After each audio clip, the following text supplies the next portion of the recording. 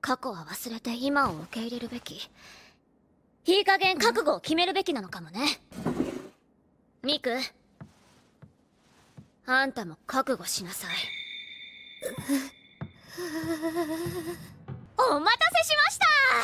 皆さんご迷惑おかけしました。中野さん。笑えないからやめてよ。まあ私が辞めたいのはそもそも試験前に突然合宿を始めるなんてありえませんよ。マジありえないから。